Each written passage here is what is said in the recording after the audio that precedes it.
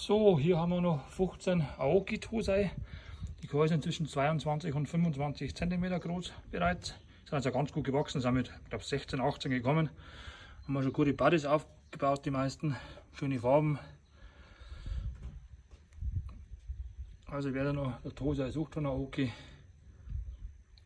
die 15 Stück, wie gesagt, die werden zu verkaufen.